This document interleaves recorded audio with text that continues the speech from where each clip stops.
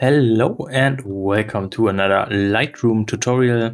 For this video I want to talk a little bit about color grading and how to achieve the moody brown autumn color look. And besides the classic version of Lightroom, this should also work in the cloud version and of course also in Photoshop. If you're just looking for the preset, I will create a preset out of this editing process and you can find the download link in the description. At the end of the video, I will talk a little bit about applying this preset on other images and how you can fix minor things. So let's start the process. First, I'm heading to the lens correction stuff and here I'm checking the remove chromatic aberration first. I am not enabling the profile correction since it does look a bit weird in this case and I think it looks better without it. Now to achieve the moody brown look, I'm starting by changing the profile to Adobe Landscape. This will already give me some nicer color tones, but before I'm starting to work on the colors, let's work on the overall tones of the image.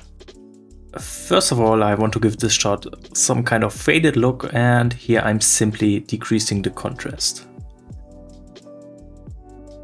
This already quite dramatically changes the image, but I want to further increase this effect by boosting the blacks.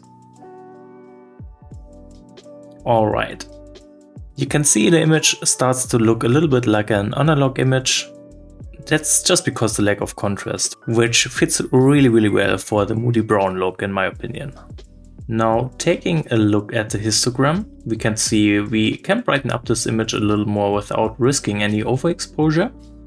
So for this, let's simply increase the whites.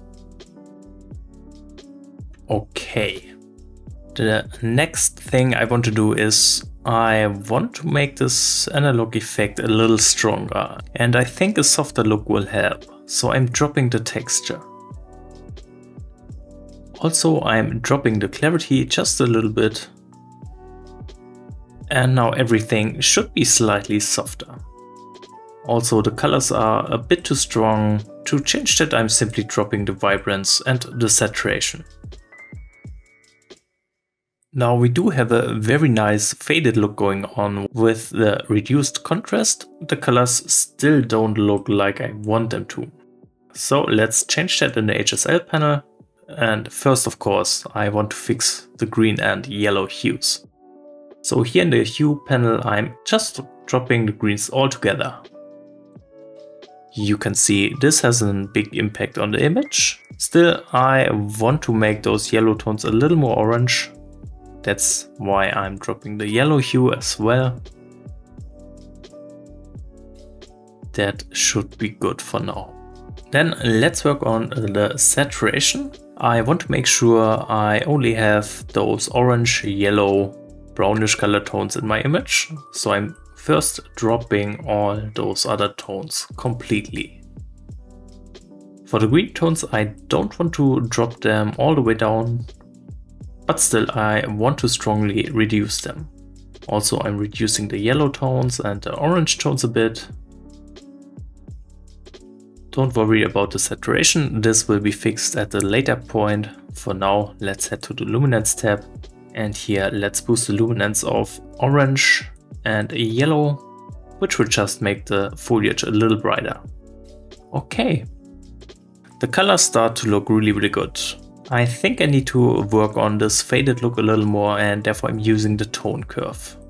In this case, I first want to apply a simple S-curve. That means I'm creating a point in the middle, then for the highlights, I slightly drag up this point and I'm creating a point for the shadows, which I simply drop down. Looking at the blacks, we can see the contrast has increased again, obviously, because of this S-curve. I still want to have some faded blacks, therefore I can simply pick up this point and drag it straight up. Just like that. And the before and after you can see we have added some more contrast this way without losing that faded look, which looks really really nice. Now I can also use the tone curve to work on the color some more. Let's head to the red channel first. To introduce some more red tones to the highlights, I can pick the upper right point and carefully drag it to the left. Of course I don't want to overdo it, so this should be good. We can also add some more yellow tones by going into the blue channel, picking up the right point and just drag it down a bit. Okay, now we have some really really nice colors going on here. I can actually play around with the white balance to adjust the color tone some more.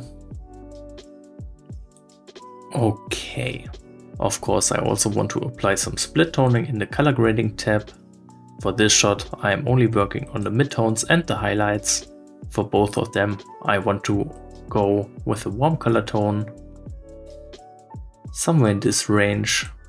But of course let's bring down the saturation Alright, then let's check the highlights and basically apply the same color tone. And again, bring down the saturation. Nice. Then for some more color grading, we can head all the way down to the calibration tab. And for those brown color tones, it's really helpful to simply drop the blue primary hue. You can see that's only a subtle change, but I think it has a great impact on the overall image. We could also bring down the saturation just a bit and maybe boost the red hue and the green hue as well. Alright, that looks really cool. Finally, we might as well add some vignetting. Not too much, just a little bit. And also for the analog effect, we could add some grain. Of course, here it makes sense to zoom in a little bit. Okay. And here we have the finished image with the moody brown color tones. As said in the intro, I want to create a preset out of this. And if you don't know how that's done, that's no problem at all. In the left panel under the presets menu, we can simply hit this plus icon to add a new preset. Let's say create preset. And let's name this Moody Brown Autumn Tones. Make sure to check all and then just hit the create button. And right here you can see the new preset, so let's apply it on other images. So here's a rather similar image. If I apply the preset, you can see it does work kind of okay on this shot. Only problem is we do have some overexposure, so let's drop the highlights and maybe the overall exposure as well. Now for this shot the preset works pretty good, except for this overexposure problems. Let's see how it goes for this image though. Again, let's apply the preset and you can see we lost quite a bit of colors and this makes this image look a little bit strange. Now we can fix it by simply adjusting the preset settings in the HSL panel. And I think it's a good idea to bring back the green hue just a little bit.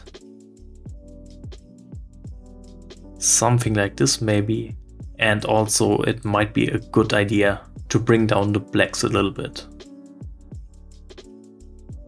Alright, at this point it looks pretty good I think. Now let's try it with this shot as well. Here we do have some overexposure in the highlights, so let's bring down the highlights. And of course it starts to look way too dark, so we can fix it by bringing up the exposure. And maybe we can drop the blacks some more.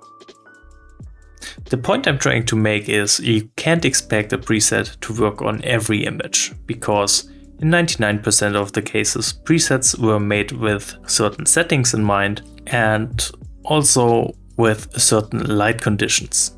That doesn't mean you can't apply presets on your image, it just means you have to do some manual adjustments after applying the presets, just like I did with those three images.